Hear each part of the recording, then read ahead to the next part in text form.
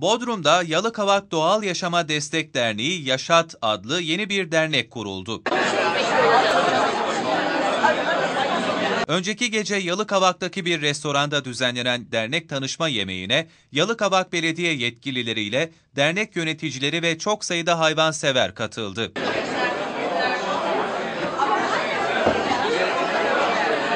Gecede dernek yararına ressam Rıfat Koçak'ın eserleri sergilendi ve canlı performans gösterisi yer aldı. Çeşitli çekilişlerin de yapıldığı gecede konuşan dernek başkanı veteriner hekim Mehmet Türkmen, doğanın, doğal kaynakların ve hayvanların korunmasına doğrudan veya dolaylı olarak eğitim, araştırma, proje ve uygulama çalışmalarıyla katkıda bulunmak amacıyla Yalıkavak Doğal Yaşama Destek Derneği'ni kurduklarını söyledi. hayvanlarla ilgili bir kurtarma operasyonunu bir eee, toplumsal kuruluş haline getirip, bir sivil toplum kuruluşu haline getirip bir güç birliğini elde ederek daha eee, uzun vadede eee, ve daha güvenilir, daha sağlıklı ve daha insani koşullarda eee, bir faaliyet içinde şekillendirelim diye bir hayvanları doğayı kurtarma operasyonunu derneğimizin başlatmış olduğu çok yeni bir dernek. Eee, aşağı yukarı bir buçuk aylık, iki aylık bir eee, geçmişimiz var ama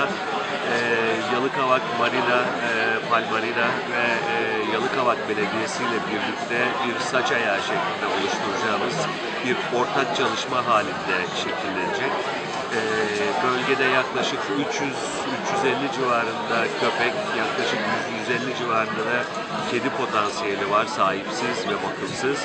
Eee, bunları hem toplumsal eee, yapının içinde eee, eritmek, eee, insanlarla eee, ilişkisini geliştirmek, insanların hayvan sevgisi eee, ilişkileri geliştirmek eee, ve esas amacımız da bu canlıları eee, sahiplendirmek ve belli eğitimlerden geçirerek insan yararına eee, kullanılabilir hale getirebilmek amacımız. Derneğin yönetim kurulunun Mehmet Mazhar Vardar, Mehmet Polat, Emili Elipolos Öncül, Kadir Boralar Erdem, Lale Baykara ve Nazmi Özcan'dan oluştuğu bildirildi. Gece çalan canlı müzik eşliğinde geç saatlere kadar devam etti.